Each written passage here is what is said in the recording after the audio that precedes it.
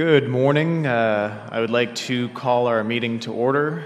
Um, we're going to get started in our second day of Yukon River Panel 2019 postseason meetings, and I'd like to welcome everyone back to our public sessions today.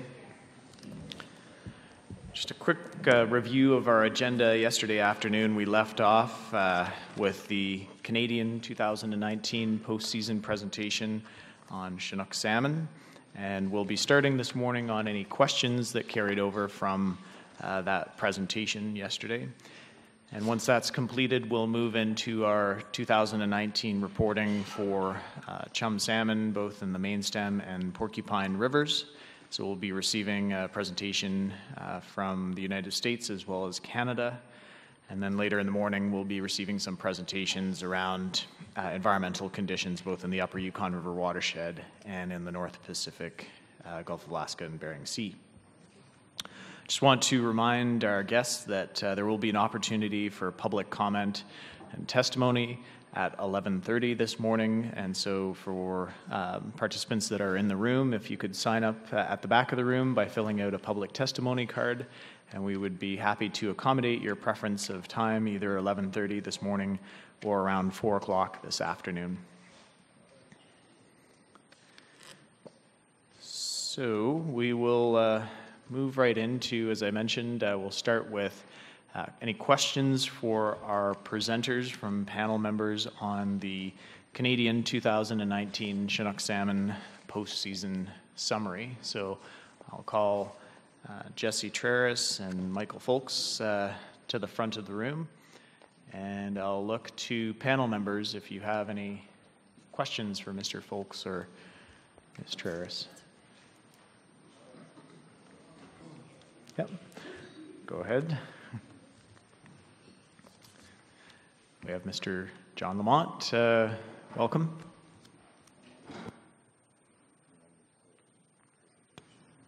Uh, good morning. Thank you, Mr. Co-Chair. Uh, Jesse, one question on the uh, Teslin River. Uh, can you tell me or explain to me the escapement 20 year, or two decades ago, a decade ago, and last year, or the last three years? Because I've noticed, you know, I had a lot of questions on the Teslin, and I that's one river that's dear to my heart because I I'm a commercial fisherman. I fish at the very mouth of the river, and from uh, the early six, late 60s, I've been really conserving so the other end of the river can get Chinook salmon. Thank you. Thank you, Mr. Co-Chair. Okay. So my, my understanding of this question is to describe the history of the, the salmon as they in the Teslin River over the last uh, several decades.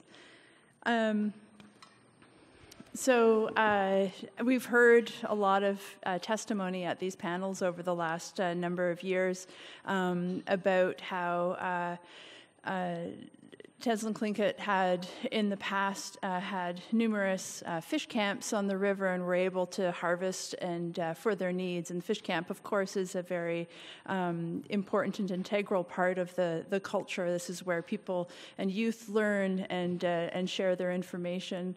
Um, in the past, uh, over the last uh, 20 years, those fish camps have largely gone um, un, unused.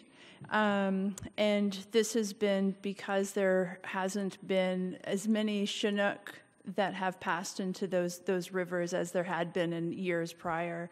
Um, so this year there was some very minimal uh, fishing done in Teslin, um, and uh, the the harvest was the harvest that was had was a difficult one to acquire. It took a lot of effort to be able to get the fish that they did, um, and uh, yeah, so the, the, over over time, Teslin.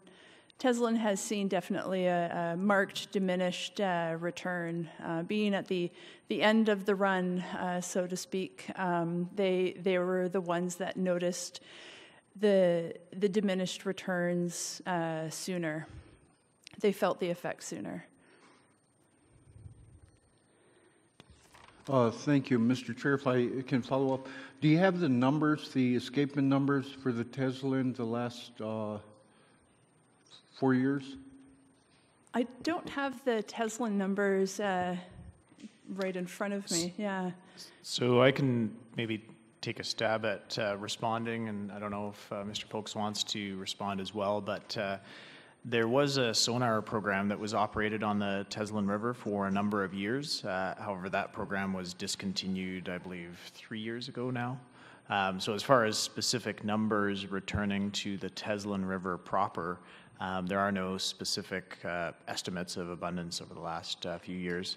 The only indication we have uh, with regards to proportional um, returns is through the run reconstruction exercise, where we look at the genetic composition of fish at Eagle. Um, so, from the samples taken at Eagle sonar, uh, when we run the genetic tissue samples for those, we're able to see what proportion of that run uh, originated in different parts of the watershed. And so, um, as far as a, a, specific estimate of, of abundance at the Teslin River proper, there isn't a number for the last uh, several years. Uh, thank you both. And for clarification, I didn't have time to ask my uh, panel member to ask that question, but uh, as an alternate, I felt it was proper for me to come up in case the audience is wondering. Thank you, Mr. Co-Chair, and thank you. Thanks, John. No, that's entirely appropriate, and uh, thank you very much for your question. So, further questions from panel members on the Canadian Chinook salmon presentation? Uh, go ahead, panel member Ragnar Ahlstrom. Mr. Chairman, uh, Mr. Rees, uh, there was a, at least three slides that referenced the um, the return to the Whitehorse, uh, uh, the, um, the, the, the ladder, and and there was testimony or presentation that those were the lowest counts in the last at least 30 years. So my question is, uh, Mr. Chairman, is that uh, um, has the releases from the White, Whitehorse hatchery been consistent over time?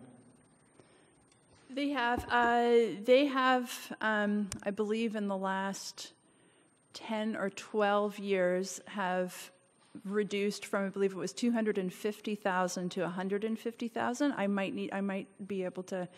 Uh, do you agree with this, Steve? yeah. Generally speaking, yeah. yes. So there have been adjustments to the number of fry released from the Whitehorse Rapids hatchery over time. And the reasons for the adjustments had to do with um, the observed adult returns. There seemed to be no marked difference mm-hmm. between the number of, or sorry, when years when there were releases of, say, around 200,000 versus 150,000 fry, the number of adults uh, returning to the uh, uh, to the Whitehorse Rapids Fishway was approximately the same. So, for that reason, over the last probably decade or so, the numbers have been optimized at 150,000 uh, fry per year. Now, that number is contingent on availability of broodstock. So, um, if uh, if there's if the return of adults to the Whitehorse Rapids um, uh, fishway is of sufficient abundance to collect broodstock, then the then the stocking program continues. Um, if the numbers are very low, then the number of eggs collected is adjusted to reflect that low abundance, and that's to allow for um, basically natural spawning to occur in the upper watershed.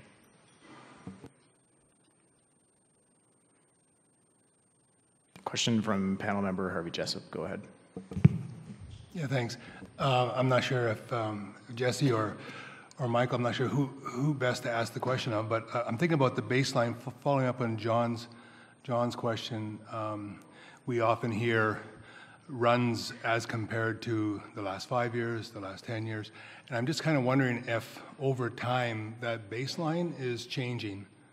And uh, I heard yesterday um, in Holly's presentation, they talked about trying to, trying to emerge uh, different methods and, and trying to uh, figure out if there's a way to compare apples with oranges or no, I guess that was I guess that was Zach's presentation. Anyway, I was just kind of curious about the baseline and which baseline that, that we're now we're now using. I'll, I'll have an attempt at fielding that question for you. Um, I mean, I guess in its in its simplest answer, uh, we can say that uh, we're, we're, using the the longest uh, series that are available for any one system, assuming, and I think this is the apples and oranges series you're mentioning, assuming that the the, the program, the methodology for enumeration of returns or escapement um, is consistent. And, and for example, you probably what you're looking to would be the Eagle system where for example, the plots that I showed started in 2005 because that was the initiation of the sonar program versus um, um, utilization of fish wheels. I mean, I'm probably speaking the obvious to you already, but and which has appreciably uh, is is is uh, in, in, essence you might say sampling and, uh, a, a, a, different cross section of what's passing through uh, the, the the the system at that at any one point in time. And so you are, if you, if you to, to compare numbers prior to 2005, when it was a fish wheel based system, to newer time series is a, a bit of a risky exercise. You'd hope for numerous years of overlap in any one of these types of programs, and then you get an index, or you know, a correction factor, as it were, between the two, and then potentially you can look back to the longer time series. So um, I think in the, to quickly to try to quickly answer your question would be to say we use the longest time series that would be available as long as the, the, the, the, methodology for that enumeration is consistent within that time period. Does, does that help some a little bit of clarification? I mean, it's not like we'd ever, if we had 15 years of data available, it would be perhaps a very poor choice to just use the most recent five years to compare 2019 to the most recent five years. We definitely would compare to the fullest time series available if, if it was comparable. I completely agree with you. Otherwise, you are at risk of um, slowly spiraling down. And if you were dealing with a dwindling population, you would be comparing against a dwindling average, and that's clearly a poor choice. Does that help a little bit? Uh, thanks, thanks, thanks. Uh, that that is helpful. The other um, aspect to that is, in the, in the context of shifting baselines, we we hear um, stories about um, many many fish, uh, red red colored spawning beds uh, walking across the backs. We hear those sorts of stories. So I guess I guess uh, um, trying to um, quantify uh, science with traditional knowledge and, and how far back we go with that information. So if we're looking at, at baselines, is there any way, is there any way that we can talk about what may have been here prior to sonars, uh, to test netting, that sort of stuff? So I think just, I'll, oh, I'll maybe uh, complement uh, uh, Michael's question by saying that um, for the benefit of the audience, uh, yesterday evening we heard some discussion around um, the number, abundance of salmon, say in Michie Creek in the upper river watershed.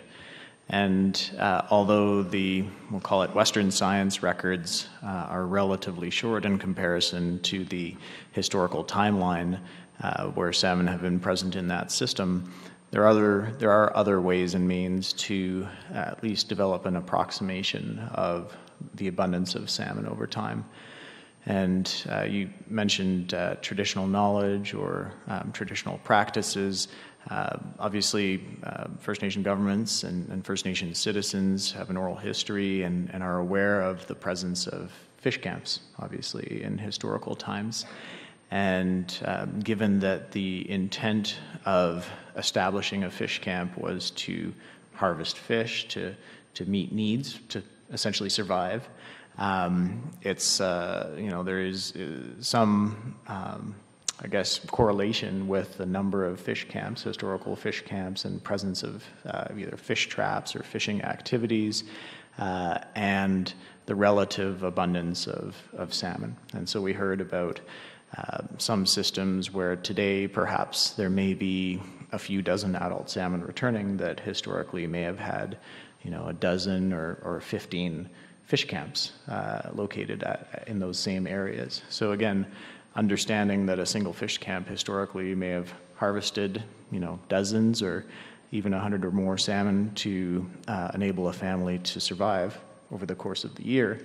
Uh, if there are multiple such sites in a geographic area, it certainly does point very clearly that uh, the abundance of salmon historically, and I'm talking hundreds or even uh, thousands of years ago, was what's much greater than uh, what it is today. But Michael, uh, go ahead. Well, thank you very much. Uh, that, that, that certainly more than answered what I, I would have been capable in terms of applications of traditional knowledge. So that, that I appreciate that. Um, and, and, in- and if I can offer in addition, the methods that we, ha- that we rely on in science where we don't necessarily have a, a, a- an understanding of what's referred to as the capacity, what, what spawning systems can, can manage in terms of maximum number of spawners. There are, there are fairly straightforward scientific methods that we have. For example, one very recent is look at habitat, literally relying on geographic information systems that would map out uh, the surface area of available habitat for spawners, and then and, and very simple calculations of where you do have spawner information. You could expand that and, and, and get a, a very simple number of what should be there, right, compared to what you're enumerating right now. And then the more traditional method, I'm probably you're familiar with, is what's called the uh, stock recruitment relationship and where we understand what spawns and then what comes back five, six, seven years later as the offspring. So there's a, a very, a somewhat predictable relationship between those two things. And once we have that established, it gives us a means of also understanding what should be a, um, the system uh, should be able to manage in terms of that, that capacity term. So that's sort of from, from a science, science uh, approach, uh, in addition to relying on the traditional knowledge that you had mentioned. And I, I would also Thank like. you. oh, Um, Thanks. I, I, I just think that, that um, ha- habitat capability might be a good, a good uh, um, exercise. Uh, I mean, you're already doing it, but a good presentation at some point. Um, To look at habitat capability uh, in, in the headwaters. I would also like to add to this that um, traditional knowledge uh, and the you know the oral histories of the people and um, the local information, the history, this really helps to inform us as to to what what has been lost, and it also helps to guide us into what we are trying to regain. And I also want to, and I don't think it's it's completely evident, but that integrated fisheries management plan that um, that I showed up on the screen yesterday. In that plan, it also incorporates um, the tr- some of the traditional knowledge that we have received or we have learned in that providing early access to the fish. Uh, it's it's uh, beneficial and very important for First Nations to be able to. Um, adequately uh, smoke those fish or dry those fish um, and having that early access and also the releasing of the of the females is something that has directly come from uh, First Nation uh, traditional knowledge as well. Thank you.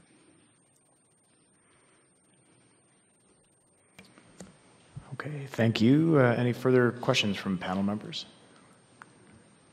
Not seeing any. Uh, thank you, Mr. Harris, Mr. Folkes. Uh, and we'll move on to our next presentation, which is the 2019 Yukon River Fall Chum Salmon Season Summary that'll be provided by Mr. Jeff Estensen from the Alaska Department of Fish and Game. And uh, we'll be receiving information on both mainstem fall chum salmon uh, and Porcupine River slash Fishing Branch fall chum salmon, again, Canadian origin stocks as they're defined in the Yukon River Salmon Agreement. So, welcome, uh, Mr. Estensen. Thank you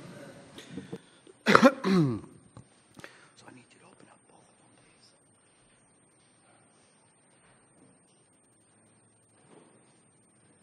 That one, and then also the porcupine one, but I need the full, this one first.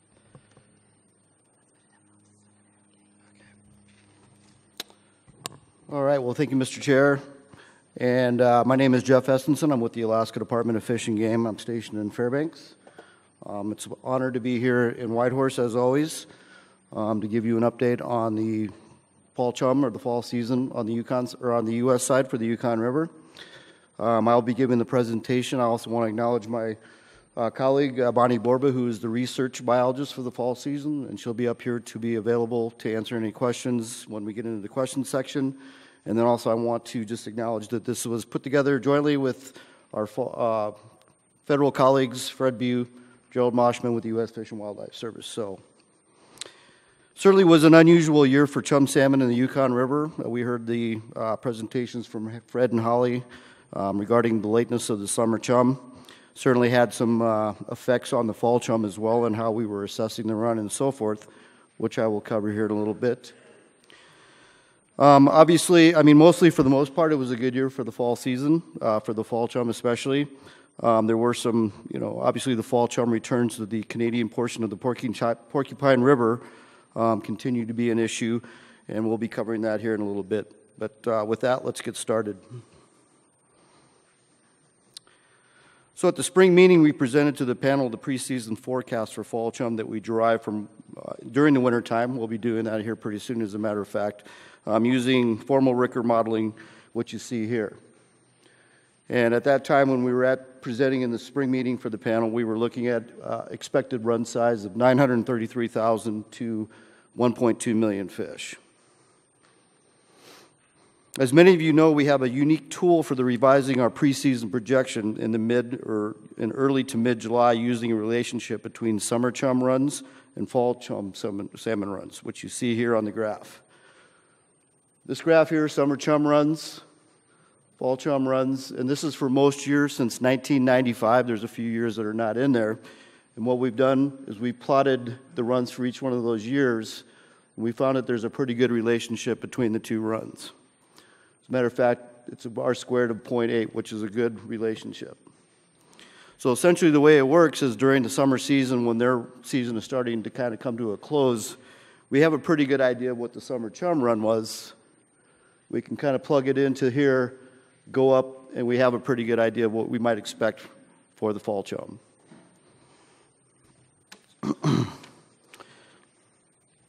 so as I mentioned, that the late summer run did have an inf- or had an effect on the fall chum, especially when we were doing our preseason projection.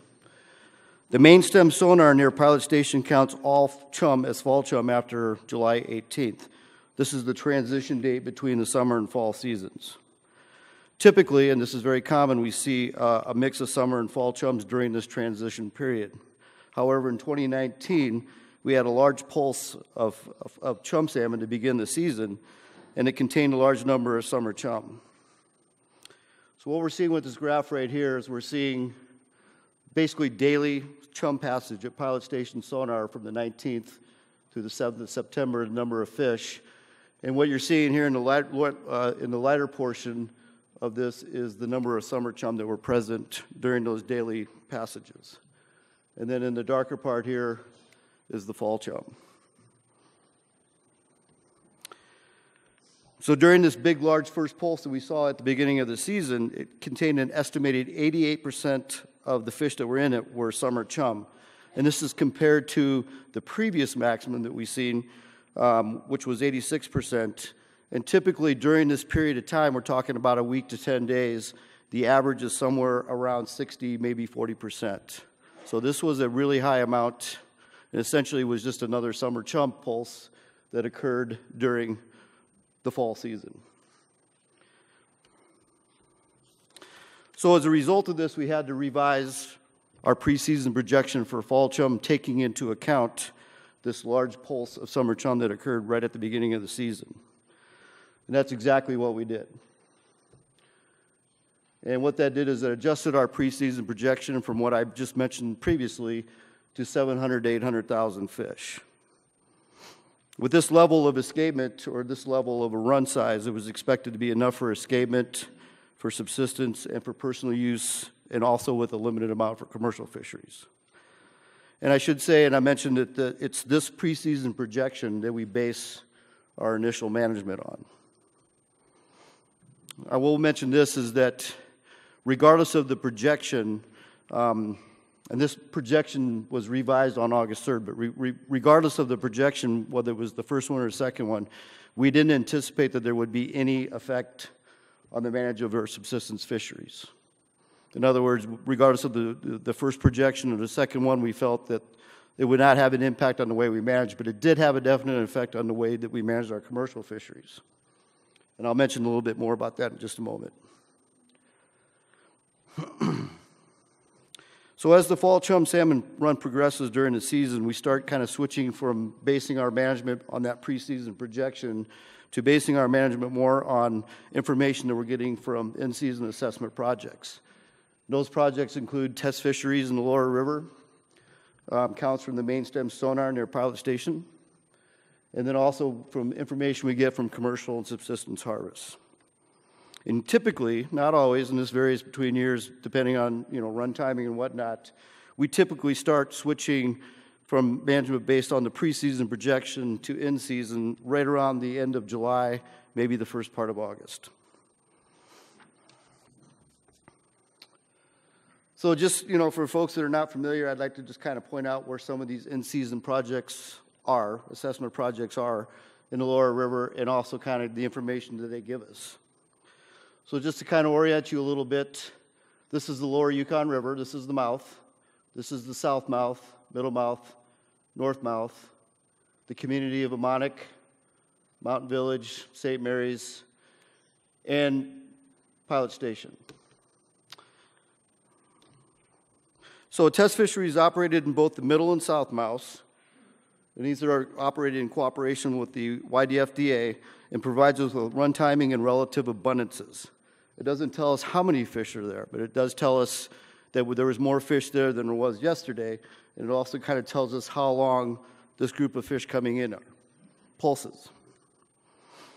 We operate a second test fishery near the community of Mountain Village, and this kind of serves, this is in cooperation with the Mountain Village Tribal Council, and this kind of provides us with a confirmation of what we were seeing in the lower Yukon test fishery. And then finally, we have the main stem sonar, which is operated near the community of Pilot Station. And this is the project that gives us our first abundance estimate of the fall chum that are coming in the river. And it's about starting here, it's about two days to here, and then an additional day here. So from the lower Yukon test fisheries to Pilot Station, it's about three days of travel time for fish, and that varies greatly between uh, water level and so forth. So I also want to mention too that Pilot Station, the sonar there near Pilot Station also provides a platform for us to be able to collect genetic information, which is what we do when we do our genetic stock or mixed stock analysis that you've heard being talked about quite a bit. And together with harvest information and input from the fishermen, the information from these projects collectively informed the management de- decisions that we make in season. So, how did we do? How did the run look like? Not necessarily how we do, but how did the run look like? So, we're going to take a look.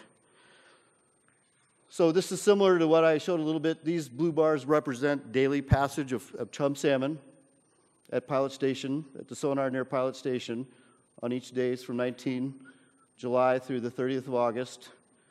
And this black line represents the level of fish or the projection of fall chum that we need to have to be at 550,000 fish. And that's kind of an important number for us because that, by regulation, is the threshold that we need to be at to allow commercial fishing. In other words, we have to have a run projection of 550,000 fish or greater to allow commercial fishing. So, next, what I'm going to do is add a cumulative passage line. So, what this line right here is showing is basically adding up all of these together and showing the passage. This is the cumulative passage through roughly the 3rd of August. So, as you look at this right now, you say to yourself, well, the run's looking pretty good so far. We're definitely above the 550, and we've got a surplus for commercial. And if you recall, I mentioned that, that the difference in the preseason projection impacted our management of the fisheries.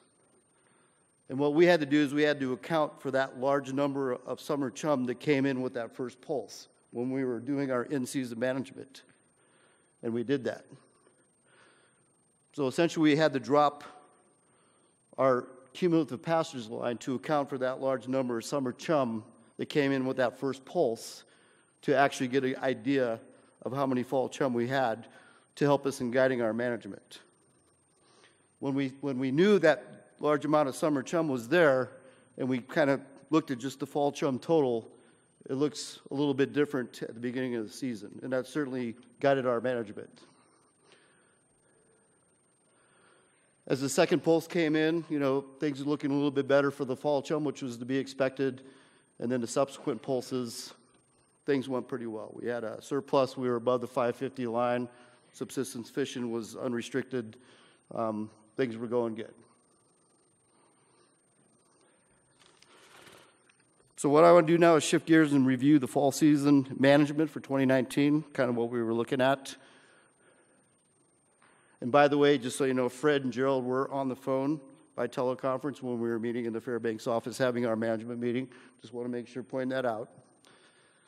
So for the subsistence management, as I mentioned earlier, uh, really not any impact on when we changed our preseason projection that we expected. And what happened was that all districts and sub-districts went to their full restrict, or full schedule, unrestricted fisheries, and then shortly afterwards went to seven days a week, 24 hours a day. The one, one exception, of course, was the Porcupine River, and I will be covering that here in just a little bit. We did close that fishery on the 23rd. Um, and the way it works is with the fall season is that we follow the migration of the fall chum run upriver, and as it gets to the next district or sub-district, that's when they switch over to fall season management.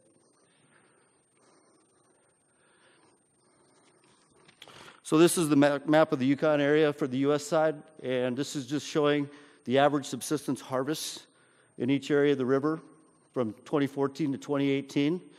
And this is just so you can get an idea for the folks that are not real familiar with where and how many fall chum are harvested and coho as well along the river. Lower River Districts 1, 2, and 3. You can see what the averages are. Middle River, and then also in the upper river where the majority of the fall season, uh, fall chum harvest occurs for subsistence. And then, of course, a little bit in District 6, which is the Tanana River. So as we uh, kind of, um, you know, as we, we found out with the summer season as well, is that right now we're still in the process of getting our subsistence harvest estimates. It's a process that takes a little bit of time. We're still in the process of getting permits back and so forth. We don't really have an estimate to give yet, but we, are, we do expect that the fall chum harvest on the U.S. side for subsistence will be maybe similar to what we saw in 2018, maybe a little bit lower, but definitely well below the most recent five year averages. Average. And that's what these black lines right there are.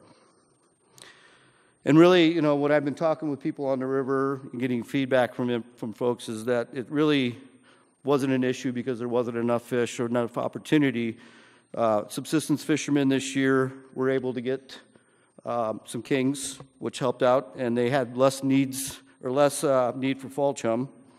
They had other activities that took a priority in the fall time, gathering wood, getting berries, so forth and such. And then also, I think another thing too is that we've heard that, you know, fall chum, especially in the later part, is, is really used uh, for, for dog food, for dog teams.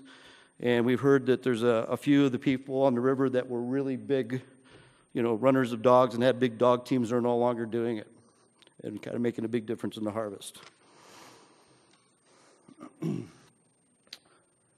so now I'm going to move on to commercial management. Uh, just touch on this real briefly. You know, as I mentioned, we had to take a very cautious, you know, the, the, the projection, the change in the projection we made uh, changed our approach to the commercial fishery. At the beginning of the season, through the first of or third of August, we had that very low projection and we had to be very cautious in, in how we managed our commercial fishery. We were. Um, we actually had very few commercial periods during that time, and if we did have commercial periods, they were very short in duration. But, and I, going back to that graph when you saw the where the run started picking up, that as the season progressed, we got a little bit more comfortable with our in-season projection, and we increased the amount of commercial fishing. And again, this is just for information for folks that are not familiar. Um, this is where commercial fishing occurs in the district or in the Yukon area on the U.S. side for uh, fall chum. Districts 1 and 2, where the majority of the harvest of both fall chum and coho occurs. We have a very small scale fishery that occurs in district, sub-districts 5B and C. This is the bridge area. And then, of course, we have commercial fishing that occurs in District 6, uh, the majority of this fishing right here is actually uh, for subsistence needs. It's the commercial fishermen going out and doing the work for the subsistence fishermen. Um, and what we're seeing is more commercial harvest, but a little bit less subsistence because they're kind of trading off on who's doing the work. And then this is the commercial harvest for 2019. And you can see that uh, the, the harvest this year was 268,000 roughly. Um, and this is the lower, this is uh, well below the, or not well below, but below the most recent five year average um, for 2019.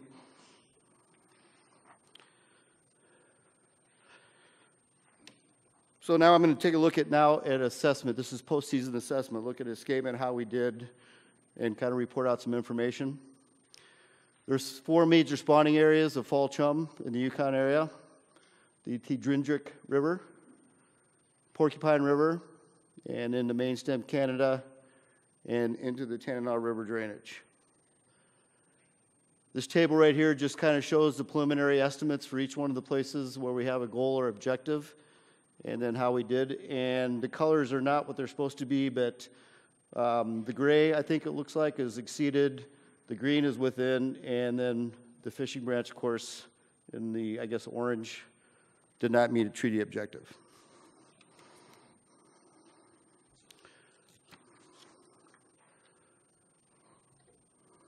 So these next two slides I'm going to show are just kind of reporting out information of the uh, run characteristics of fall chum for 2019. This chart depicts the percentage of summer chum and fall chum salmon stocks that were coming in on July after July 19th. Overall, the summer chum composition of 35% uh, was a record and actually beat the previous record of 25% that we saw in 2010. And then if you take the fall, if you take the fall components or the fall part and break it down into the different components for the fall season, um, that's what you see right there. And just to mention for a point that the Tanana River stocks this year were above average. And just pointing out age composition, looking at the age composition, percent female and length. Um, just the one thing of note here, we had an above average showing of four year olds, a below average showing of five year olds, slightly below average number of females, and they were smaller fish this year, which the reports that we were getting from folks on the river. And then I, what I like to do at the end of the presentation is just kind of give you an overall, putting it all together, look, how are fall chum doing overall? And what, what this graph is showing is from 20, uh, 1999 through 2019. The blue portion represents the overall drainage escapement. This is the overall, all the tributaries and whatnot. And then the lighter blue represents the harvest that occurred in each year. This is a combination of Canadian, U.S. subsistence, and commercial personal use. And then the two lines going across represent the drainage-wide SEG goal of 300,000 to 600,000 fish. In a nutshell, fall chum have mostly met or exceeded the drainage-wide escapement goal since uh, 2001 or since 1999. There's been harvests allowed in each of those years. And again, with the exception being the porcupine, which we will cover in, in my next presentation. So it, it, appears right now that the fall chum are healthy and the stock's doing well, providing some harvest, making our escapement goals. and then before I move on or close, I'm just going to talk real quickly about coho salmon. Uh, 2019 run size index was below average at 169,000. Typical average run size is 217,000. The run was approximately five days late this year. We do have one escapement goal for coho salmon in the Yukon River drainage at the Delta Clearwater River, which is a tributary of the Tanana, and that goal was not met this year. And I just want to take a moment to acknowledge all of the different entities that we work with cooperatively to make the fall season happen. Um, each one of these folks provide uh, help, support to us in, in getting our job done. And a big shout out and thank you to each one of them. So, and with that, I'll, I guess we're going to go right into the fishing branch, right? Okay. May pause for questions here. It may be a good uh, break point. So, for panel members, uh, any questions on the U.S. uh, fall chum salmon presentation. Oh, uh, Dennis Zimmerman, go ahead. Thanks. Thanks, Jeff. Um, I'm just trying to get a sense of kind of the bigger, longer term patterns, perhaps. So if you go to 20, right? Slide 20? Yeah. Yeah. I mean, it, you know, there's, I guess I'm thinking of it in terms of multiple species. I know your job is fall chum, and I get that. But it strikes me that, you know, when we look at something annually on a yearly basis, and then we look at an individual species in isolation, you know, things may make sense. But I guess I'm concerned because we, you know, we've been struggling with Chinook, and we've had, we've been lucky because we've been offsetting a lot of those, the harvest. People have been meeting needs by taking other species, right? Um, I guess, is there anybody looking at the bigger picture here? Like, we've got, you know, the bigger patterns, right? In terms of, I mean, we've already, I won't get into climate change, all that stuff, but, you know, we, ha- we've had healthy runs of Chinook for the last, you know, 20 odd years, or sorry, a fall chum. We've had poor runs of Chinook, and so we've been lucky because people have been meeting their needs and commercial interests, et cetera, on the Alaskan side. Um, and yet I'm seeing, I mean, I'm, I'm a little bit worried about that stock, right? It, you know, it, there's no guarantees those stocks are going to get, are going to stay at that range. So I feel like we need to be planning with a precautionary principle for the future. And I'm just not sure, is there any mechanism in Alaska to look at the longer term, bigger picture? And I mean, you also have multiple other stocks, right? You got sockeye, you got pinks, you got other things. So are we kind of looking at the relative, I understand the laws in Alaska are set up to meet subsistence needs and things of that nature. So, is anyone looking at the bigger picture? And does that factor into how does that factor into our management models? I realize it's an abstract question, but is there anything you can share with me there? Well, yeah, um, I'm not sure how far in the future we can look. You know, I mean, we're, we're always concerned and looking to try to, and maybe Bonnie can out when I'm done here, but, um, you know, is there any indication such as maybe productivity or whatever that indicates it might be going? As a matter of fact, we were just discussing this maybe a year ago about looking ahead at productivity and seeing, you know, is it dropping a little bit? Is that going to be something we need to be concerned about? Um, you know, so looking ahead as far as we can, we do that. Um, also, I would say too is just you know every year coming into management, we take a very conservative approach to begin with, to make sure that we don't get caught off guard, so to speak, with a run that doesn't come back. Um, but you know, as far as the big picture, I mean, I understand the importance of fall chum, particularly in trying times we have with with the Chinook and how they played, and I understand that you know if they were to crash as well, that would be bad. Um, so I don't know how much we can do, but it is something that we look at, and we're always kind of making sure that we're looking for things that can give us some sort of indication. Right, and it, it I guess a further comment. It, I mean, it strikes me as it's probably more of a man, it's a management question, right? Um, you know, if we if we're thinking, you know, in particular with fall chum, there's a treaty. You know, we're going to get. We talked about you didn't meet we didn't meet escapement on fishing branch again. Um, you know, it's in a really bad spot that one particular stock. And it seems to me that if we, it, one, one mechanism by which we could meet fishing branch is by probably being more restrictive on fall chum generally across, but recognizing you need to provide, you need to meet needs in terms of opportunity, maybe harvest other fish that aren't part of this treaty. So I just think like that's kind of that bigger, bigger picture management question in order to meet treaty obligations with Canada is perhaps offset harvest with other fish. I mean, I, I realize we're kind of, you know, there's different factors at play, but that, you know, because I mean, I've been hearing for many years now, we don't have the tools. It's very difficult with a mixed stock to, to isolate the fishing branch fish. I get that, but it seems like maybe it's a bigger picture management question. Anyways, it's more of a, more of a statement at this point. Thank you.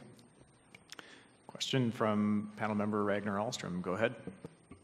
Mr. Chairman, uh, Mr. Estensen, on this slide, there seems to be an odd pattern. Maybe you could try your best to answer it.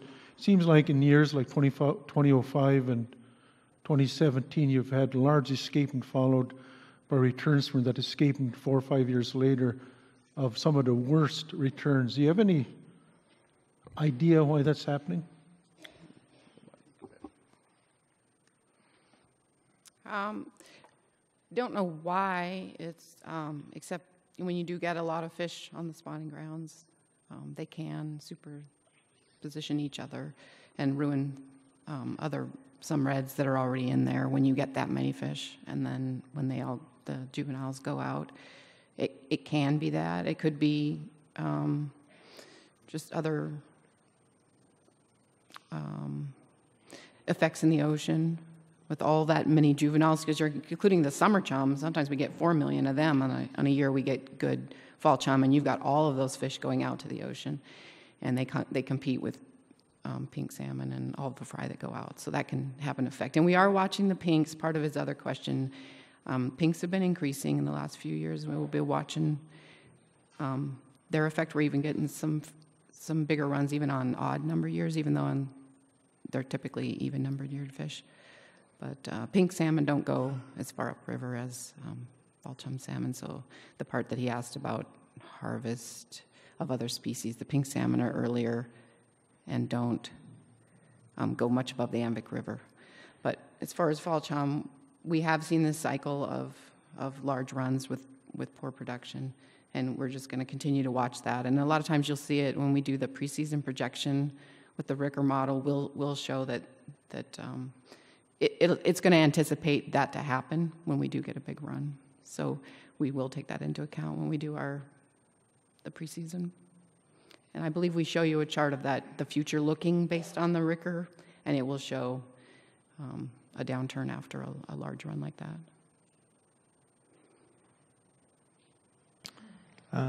Oh, okay. I was going to ask a question, but go ahead, uh, panel member Andy Bassich. Thank you. I, I'm not sure this is, maybe it's a question, um, and it's for Jeff.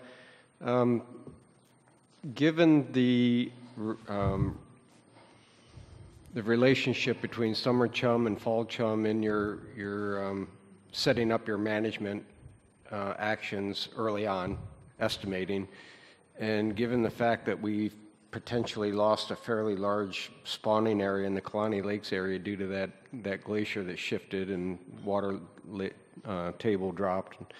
I'm wondering how, uh, if you could maybe inform us a little bit about how you're going to factor that into your projections and your management, potential management actions, uh, given the fact that you may lose that relationship between summer chum and fall chum due to a, a drop in productivity of the fall chum. No, good que- excuse me, good question, Andy, and I appreciate you asking that. And yes, um, we are well aware, and this year, that, that occurred in 2016, we actually saw a little bit of that. We would have seen a little bit of that with the three-year-olds, but the three-year-olds make up such a small percentage of the run. Next year, it'll be impacting the four-year-olds, which I don't need to tell folks uh, are kind of the meat and potatoes of a fall chum run, roughly 74%. So, um, and you're right, because that necessarily won't come out, you know, we kind of talk about how we can get an idea from that summer to fall relationship in comparison if it's, run's not going to come in as expected, but that wouldn't necessarily show up in the summer to fall relationship. Um, we are going to be aware of it. I, I think that it'll be in our management minds as we enter the season and when we're looking at things like that making our contingency plans. I, I think that, you know, the first way we would be able to look at that or see that, you know, when we're looking at the genetic composition of what's coming in, we would be able to maybe see that something is not right with the Canadian component that we would expect to see. Um, and that might be a first indication that we might have issues. Um, and at what point we or how we would adjust our management really just depends on where we're at in season. I can't necessarily speak to that right now. But I do want to make it that, that we do have some sort of mechanisms in place to be able to at least try to identify, hopefully, if that is going to be an issue. Um, and it's also just very clear that it's not something that's going to take us by surprise. Quick follow Thank you, Jeff. Um, I guess I'm, I'm wondering, uh, your genetic markers are going to show the difference between Chandalar, fishing branch, and main stem, correct? Yes. And do you have, is there a basic or normalized run timing for those upper Yukon main stem stocks in the run, Bonnie? That's probably more for you. So I'm just curious if there, over, over time, is there a particular time in the run where you tend to see more of the genetic samples of the upper Yukon uh, fall chum? I don't know if you've seen the uh, genetic slides that we put out every year on your, uh, in the um, packets that we send out every day. The Chandalar border, U.S. border stocks, which includes Chandalar, Black River, and Sheenjek area, they come typically come in slightly before the Canadian main stem.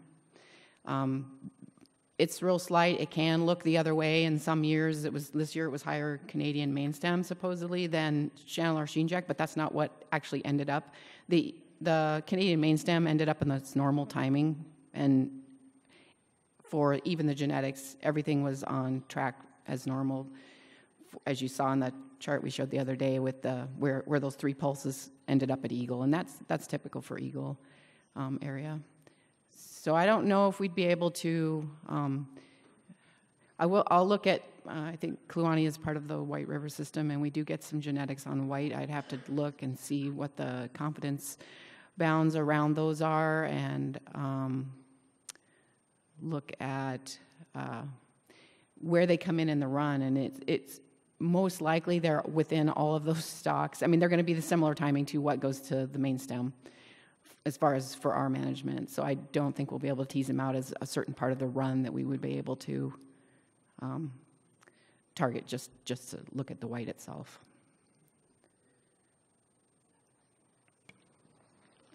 Okay, so uh, I'd like to ask one question, if I may. Uh, First off, thank you very much for the information provided in the presentation. There's certainly a lot here, and um, obviously indicative of the tremendous amount of work and effort that goes into uh, interpreting, analyzing, and making decisions with respect to uh, managing fisheries.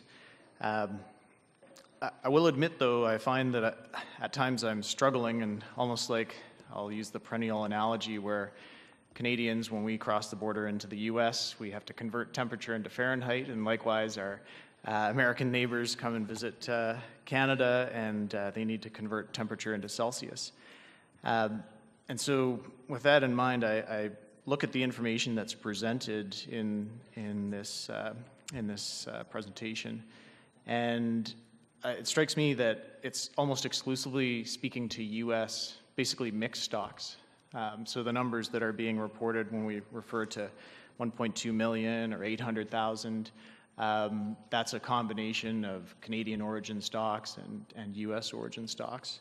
And so understanding that the, the, the purpose and the function of this process and, and the treaty which establishes this process is exclusively focused on Canadian origin salmon and management to uh, achieve uh, treaty objectives for Canadian origin salmon stocks.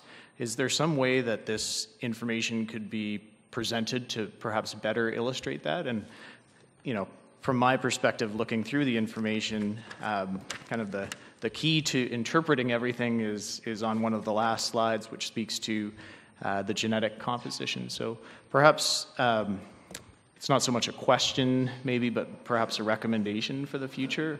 If for this audience, um, the presentation could be tailored to uh, more clearly convey the, the relevant components, at least the components that are relevant to this panel process, which is the Canadian origin stocks. Uh, because I can, I can assure you that um, if I'm struggling interpreting some of the information, that others are probably likely as well, and it's difficult to somehow reconcile, you know, what does 1.2 million chum salmon actually mean as far as Canadian stocks go? So, anyway, perhaps just an observation. Sure, and thank you for that, Mr. Co-Chair, and I really appreciate that. And I think one, since I've been doing this, there was some sort of, when I came on board, there was like, well, the Canadian, you know, when we go through Jesse's, they would report that, and I asked the same question, why we don't, but I think that we can probably start incorporating that, and I appreciate that, and we'll look at doing that, so, thank you. Okay, so uh, would you like to continue into the, the porcupine presentation, I guess, or? Yes, it's a Yeah, separate okay, one. I need thank to you. load it up real quick.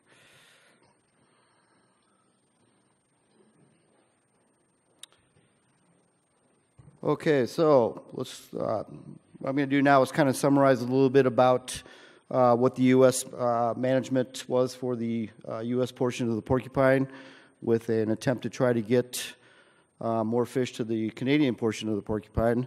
As many of you know, that it's been a chronic, or there's been a chronic inability to meet the, the porcupine or the fishing branch IMEG for a number of years now. Um, and I just want to summarize the action that the U.S. has taken to try to get more fish up there to meet that.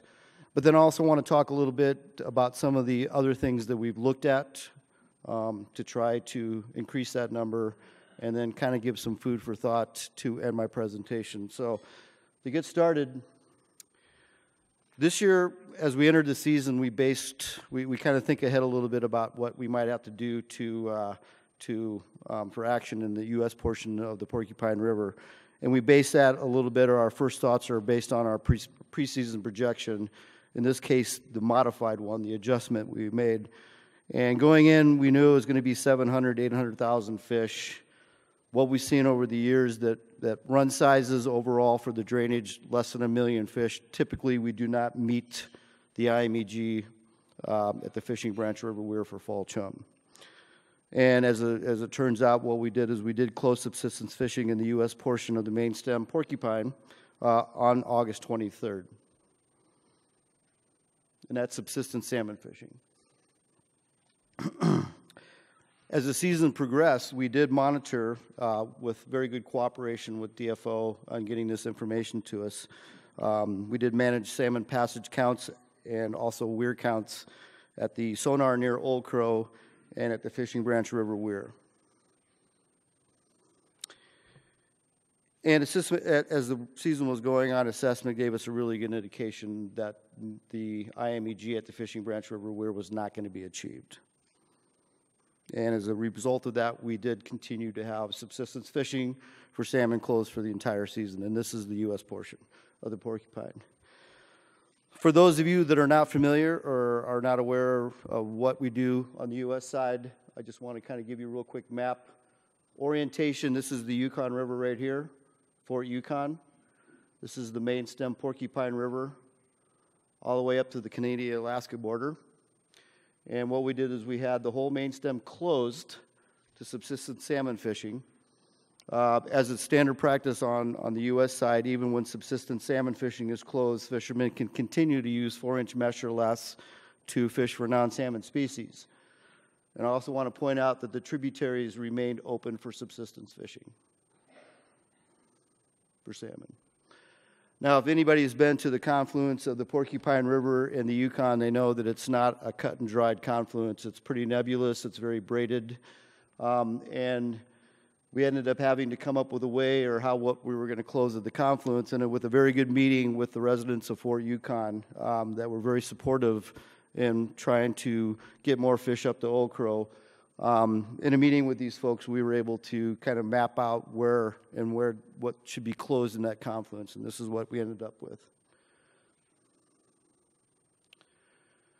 So I just want to touch briefly on the current, the basis for our current management. Why are we doing what we're doing right now? Um, as many of you know, the fishing branch stocks make up a very small portion of the overall Yukon River fall chum run.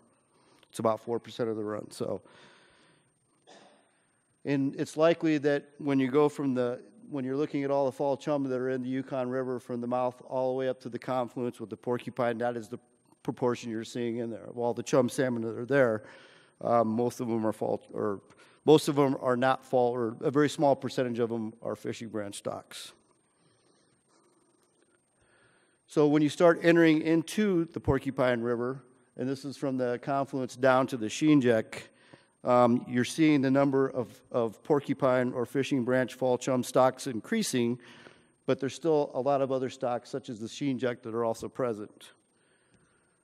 It's when you get above the sheenjek and up to the border is when you can be assured that the fish that you're conserving through your conservation efforts are mostly or are focused on fishing branch river stocks.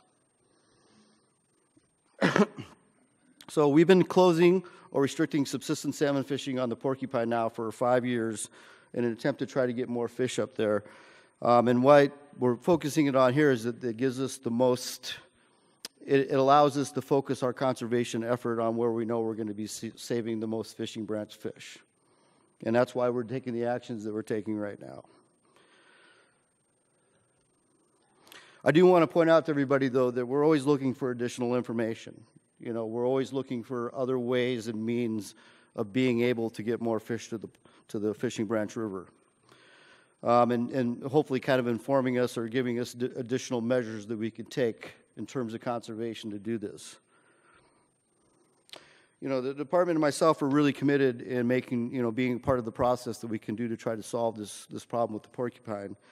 Um, and, and this, this effort to do this is kind of ongoing on my staff with Fred as well, and it's something that we're always looking at. But the real, you know, the real issue is uh, with management is, is basically being able to pinpoint when fishing branch fall chum stocks are coming into the river. Where, where are they? When are they coming in? And that is a really a, a big issue and kind of hinders us a little bit.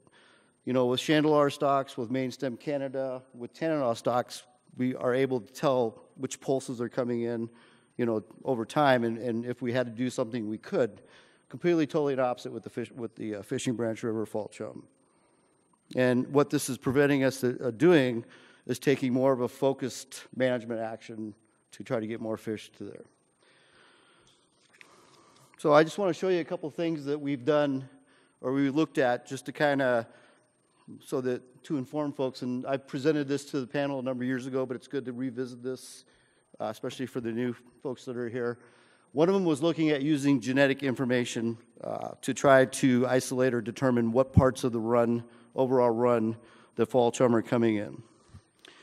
What we're seeing in these two graphs is just the, for the whole entire season, the genetic, you know, contribution to fall chum from the Fishing Branch River.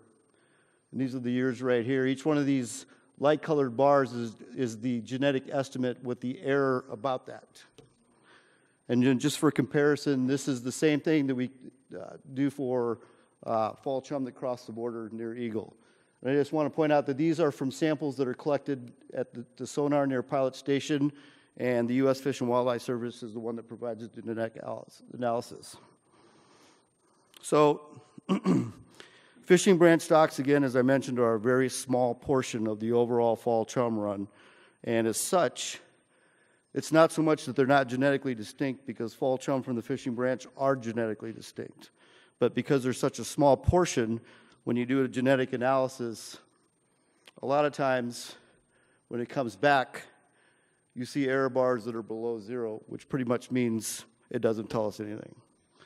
And as it stands right now, because of the number of samples we have to collect, the small proportion of fishing branch stocks that are present, uh, that the accuracy and precision of these genetic um, analysis is, is not there for us to be able to use it for anything, unfortunately.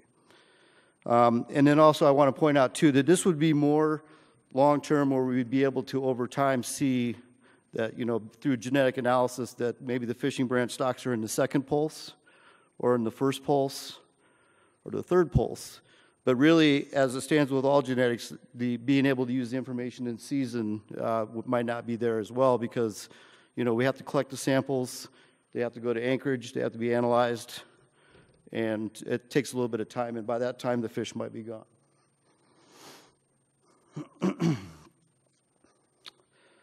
so another stopped working.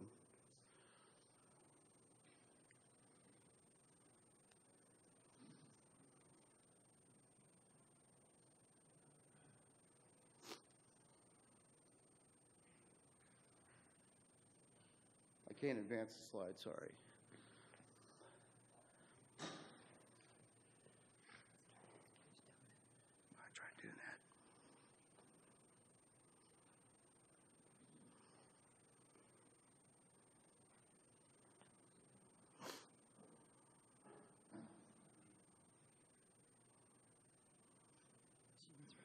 Technology. Remember slideshows when you had a little carousel and you.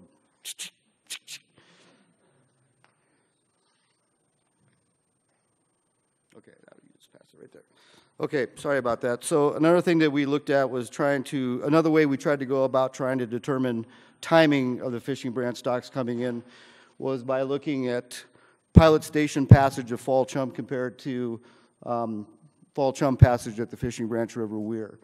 And what these graphs are showing you here and this is for 2018, this is for 29. The red or the blue diamonds represents passage, daily passage at Pilot Station Sonar from the 19th through the 7th. And then the red represents passage, daily passage at the Fishing Branch River Weir. And what we've done is we've taken the Fishing Branch passage and backed it up 30 days because that is the travel time be- between the sonar and the weir. And we're looking for any kind of evidence that would suggest that the portion of the fault, the Fishing Branch stocks come in on any portion of the run. So you might expect to see the red, if they came in on the early part, you might see the red part bumping up a little bit before with the passage of the sonar. But what this is kind of showing us is that they're pretty much right on top of each other, and that it looks like, from what we've been able to tell, is that the Fishing Branch River stocks come in all throughout the entire run. Uh, one question, one thing I want to point out is that we didn't cherry pick these. This is not these. This is really showing our point. Bonnie has gone through over the years that we have this data to really look at this, and the reason why we're showing these two slides is because they do the best job of really showing what we've seen overall as far as patterns are concerned.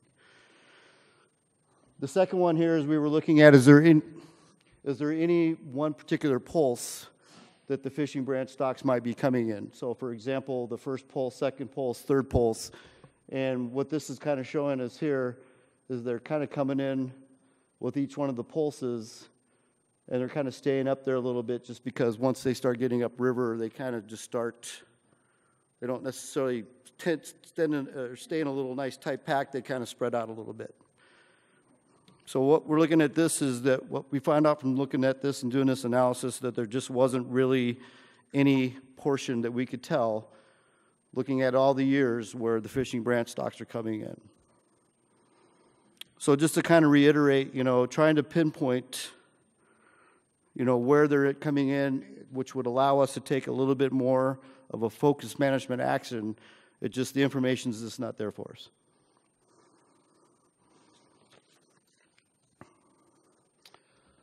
So, some other things that I wanted to just kind of point out from my perspective, and uh, just some thoughts for f- folks to think about about this whole situation and problem, is that um, there's a lot of uncertainty around what's going on and, and, what's going on with the fishing branch fall chum stocks. Uh, my travels to Old Crow, my travels to different parts of the river, um, one of the questions I always get asked are why are the fishing branch stocks doing so poorly compared to the rest of the Yukon River drainage. The Chandalar is doing well, Main Stem is doing well, Tanana is doing well. I've also had the very, uh, I had the honor of, of, going to Crow twice to be able to talk to the residents and the fishermen of those community, of that community. Um, and both of those trips were above and beyond productive for me and very educational. And what I hear from the, from the residents of, the, of that community is that there's a lot changing in their landscape. You know, they're seeing they're seeing uh, lakes disappear. You know, in case, some case overnight or during the course of a day. Um, they're talking about rivers that were used to be clear that have gone turbid. Um, they're talking about you know areas that are now going subsurface, and, and this is nothing new. I think we all know this. Um, but it just it, it just makes you kind of wonder, ask the question too, is how is this impacting the productivity of fishing branch fall chum stocks? And I just wanted this next slide right here. This changing productivity of, of especially for chum salmon is nothing new. We've seen it in the Yukon area. Uh, the classic is the Anvik River summer chum. What this graph is showing is from the years 95 through 13. The blue portion is the uh, what the Anvik or the portion that the Anvik sonar counted compared to the rest of the drainage at the mainstem sonar. And just uh, to, to take home here is that previously or prior to 2003, the average proportion of Anvik River to the overall summer chum was about 50%. And there was a shift that occurred in 23 to where that dropped to about 20%. We've also seen shifts in productivity with fall chum in the Toklat River, which has been attributed to the earthquake that happened in 25, I think it was, right? Or so, um, where a lot of underground seismic activity occurred. And just a question to ask, is this something similar, maybe what we're seeing with Porcupine River Fall Chum, with the landscape changes that we are hearing about? And just kind of remind folks, you know, changes that can affect levels of production, temperature, obviously with air and water temperature can affect migration. So we heard survive, or mortality, um, incubation periods, changes to surface and subsurface flows. You know, groundwater chemistry can affect the, you know, the chemistry of the water. The groundwater or the ground chemistry can affect the, the chemistry of the groundwater. We all know the fall chum are very selective on where they spawn with the upwelling, um, and they could have effects on that. Um, drying up of water bodies, loss of permafrost, and snow depth. But the last thing I want to end on is, is potential research and things that you know we've talked about that can really help us maybe understand this problem a little bit better and even aid in you know improving our management. Um, studies to determine the cause of the decline in production. You know, ongoing studies for potential enhancement. For us, improving the genetic analysis to identify the fishing branch stocks in season. Um, somehow being able to be able to detect these with more accuracy and precision. Um, determine U.S. harvest proportions to develop production models. This would really go a long ways for us to, to really take a look at productivity and to see if it is indeed changing and by how much. Um, the one component that's really missing from that is a really good harvest estimate.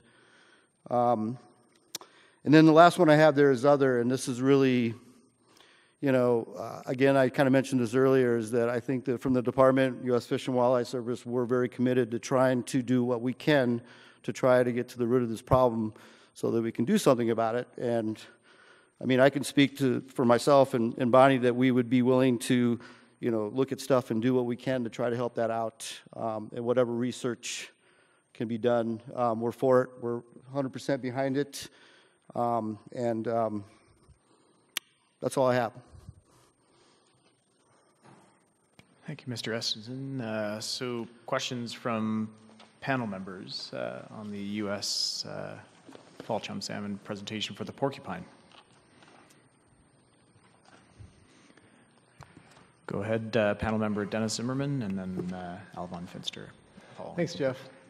Um, Al, did you have comments as well? You go first.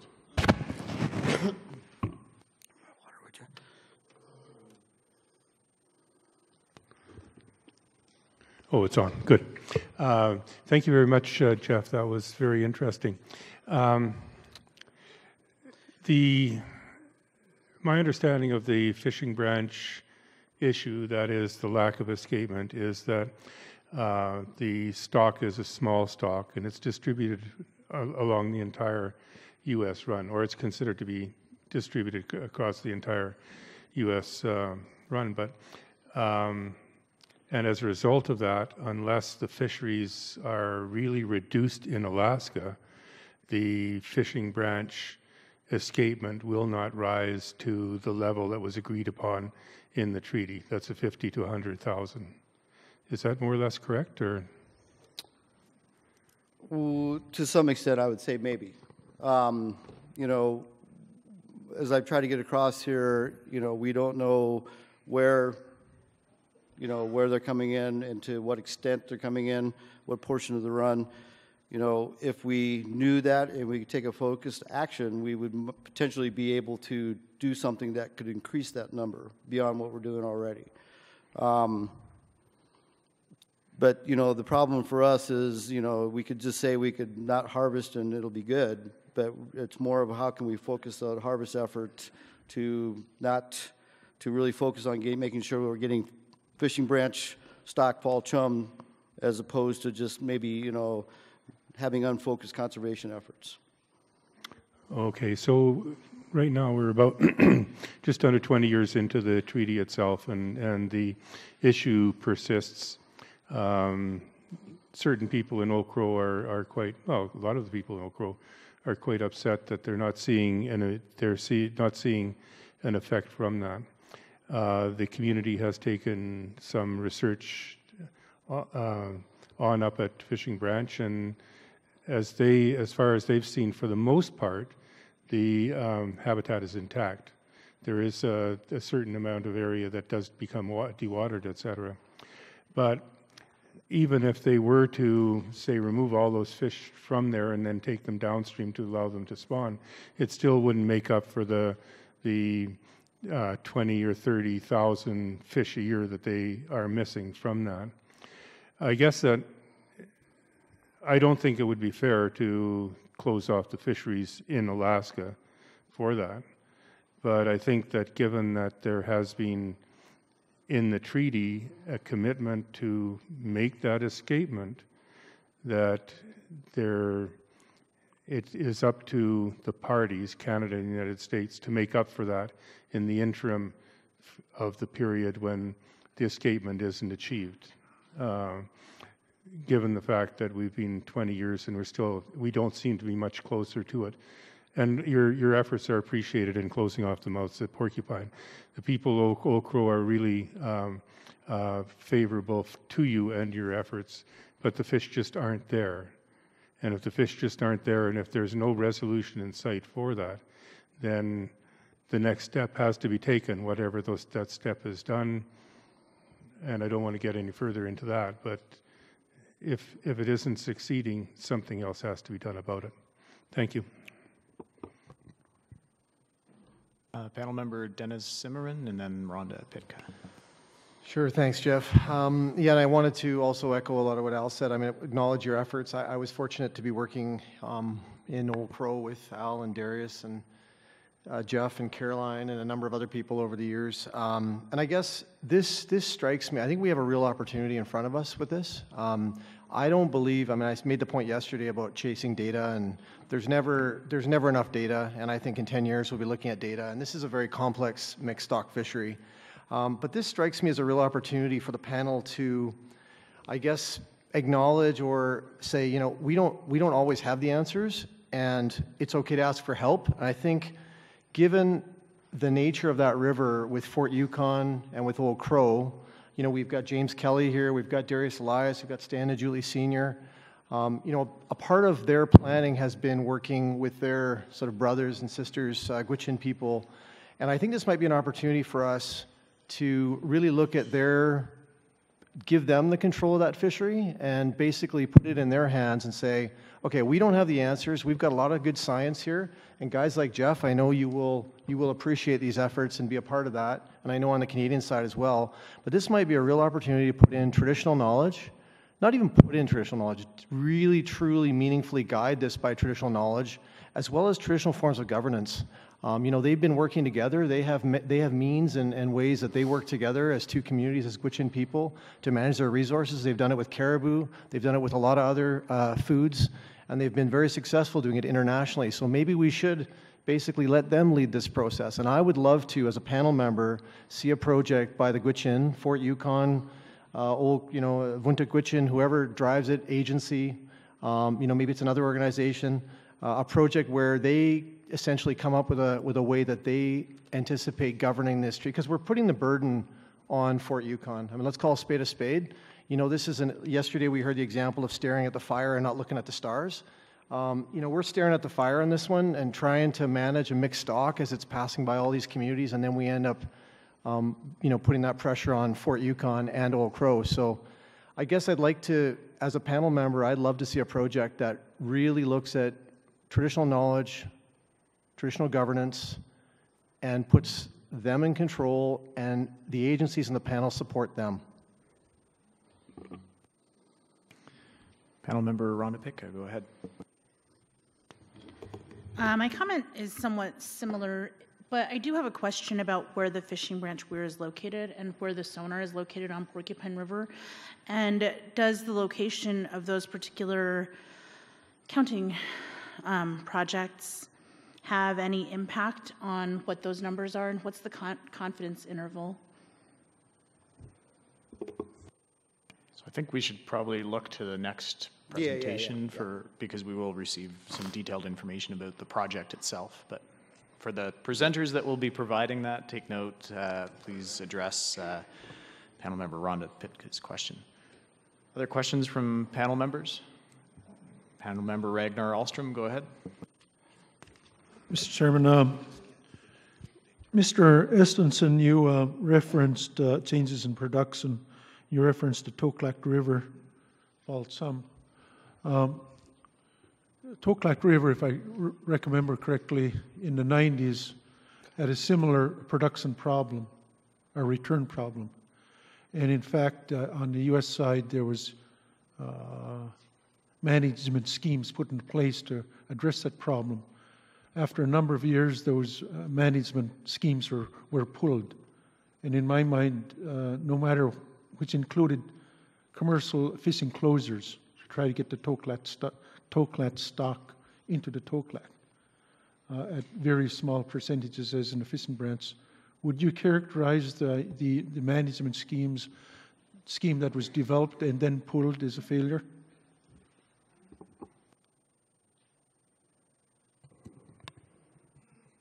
Um, we used a similar to what we're doing with Fishing Branch. We restricted the Kantishna, which the Toklat flowed into, 6A of the Tanana River, which was below the Kantishna, and including 5A, which is where the Yukon, the fish bank orientate into at the village of Tanana. All of those were restricted for subsist- uh, commercial and sometimes subsistence to meet that. Um, those were, you know, helping get more fish to the Toklat to some extent. Um, after that, um, the runs started coming back. That was, I think that um, they went up and through, we'd gone through the crash in 2000s when um, the stocks, no matter what we did, they weren't going to make it. And we had really low um, escapements those years. But as you were talking about on the earlier slide, sometimes when you have really low escapements, you get really high returns. And we did in those systems. And it wasn't necessary anymore when, when that plan went away. And then we just happened to have this issue with the, between the earthquake and the changing weather. Um, it's been harder and harder for it to freeze up up there for us to really get those escapement surveys in. So we did have to discontinue doing the surveys. Um, we do still fly them and look, but we don't do the stream survey completely like we used to because of the climate change has has caused some of that. Um, but there does appear to be less fish in there than the production that was prior to that earthquake.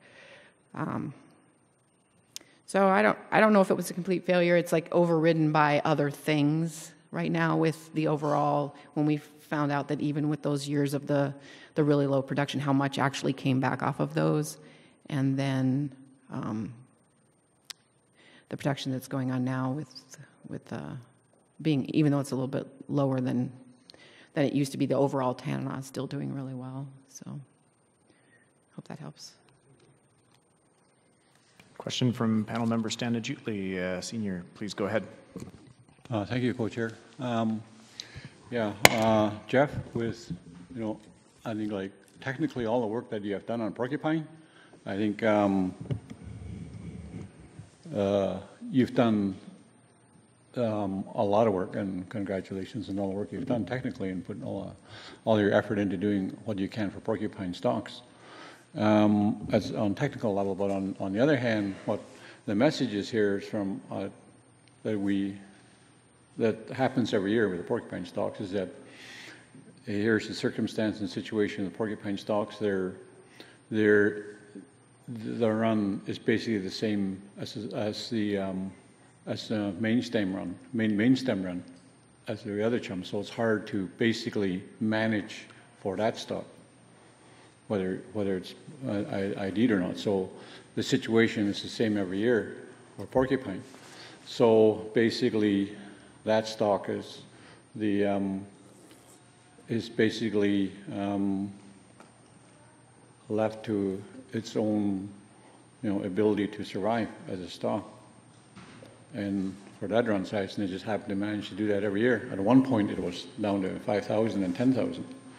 So uh, resilient as they are, they're making, they're making a comeback, but at some point in time in the future, we would probably lose, um, you know, one year or two years of, the cycle because like um, the history is the same and repeating the same message I've done over the years is that the, um, some of those stocks can be fished out in one day in the ocean or, or on the Alaska side to those numbers that are 5,000 to 10,000 at some point in time. So point is that the message is still the same and the situation hasn't changed. So um, on technical, what, what I would suggest is um, there's nothing that we could do in the interim immediately, but uh, for the JTC is to look at um, the uh, when the peak run is is in September the 13th.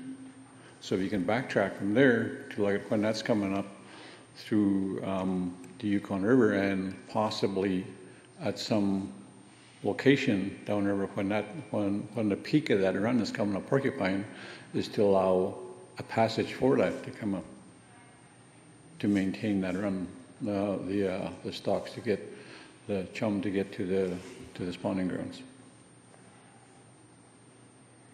Our, our harvest for for uh, for chum on porcupine on the Canadian side is definitely a limited number, and on the American side, once you hit the porcupine and come up there to Alaska border, there's um, at this point there's no fishery. So in that sense, from that point, from the mouth confluence of porcupine, it's easy to manage to uh, to uh, fishing branch to the spawning grounds. So and but from there from from there down, I think it's from there to the mouth.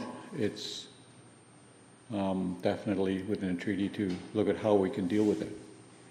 So I would suggest something like that to look at uh, how we can manage those stocks in terms of um, the peak when the peak run is coming up.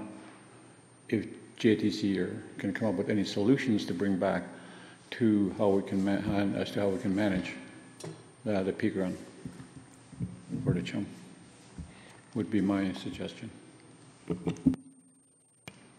Thank you. Further questions from panel members?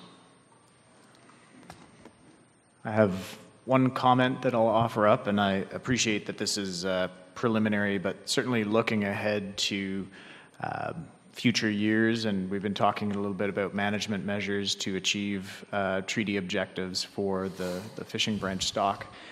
Um, and I'm specifically picking up on Dennis's question earlier around the potential for uh, shifting, we'll call it uh, fishing pressure or fishery effort uh, onto other stocks in order to protect uh, some of the weaker stocks. You recall that, that comment.